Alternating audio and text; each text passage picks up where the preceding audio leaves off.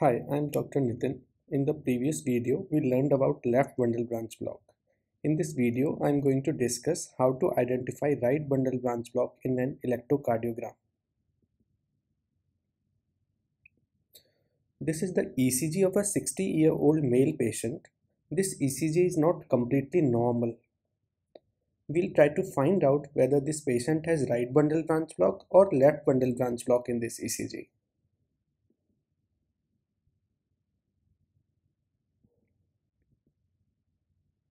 First of all, we'll understand the criteria for right bundle branch block. Then we'll try to apply these criteria in our ECG.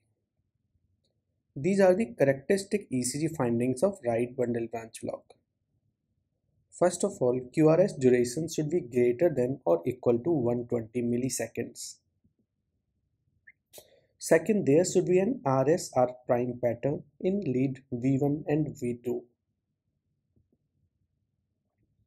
In leads 1 and V6, the S wave is of greater duration than the R wave or the S wave is greater than 40 milliseconds. In lead V1, the R wave peak time is greater than 50 milliseconds. And in leads V5 and V6, there is a normal R wave peak time. Regarding T waves in right bundle branch block, the T waves tend to be discordant to the terminal QRS vector. This results in inverted T waves in right precordial leads and upright T waves are seen in left precordial leads. Coming back to our ECG. Now we shall try to apply this criteria in this electrocardiogram. QRS duration is more than 120 milliseconds. It is almost 160 milliseconds here.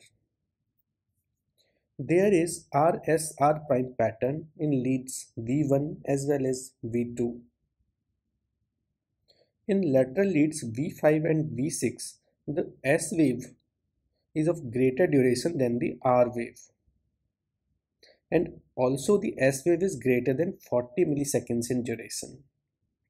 R wave duration here is 60 milliseconds and S wave duration is 80 milliseconds. S wave is broader than the R wave. Here we are looking at duration of R and S waves, not at the amplitudes.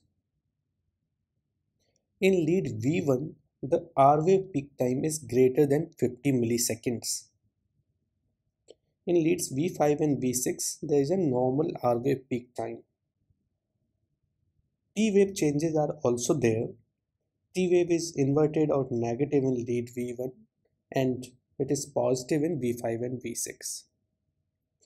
After fulfilling all the criteria of right bundle branch block, now we can confidently say that this patient has right bundle branch block in his ECG. I would like to add one more important point here. If ECG fulfills all the criteria of right bundle branch block except that QRS duration is less than 120 milliseconds, then it is called incomplete right bundle branch block. This was a simple method to identify whether ECG shows right bundle branch block or not. Thank you for watching this video.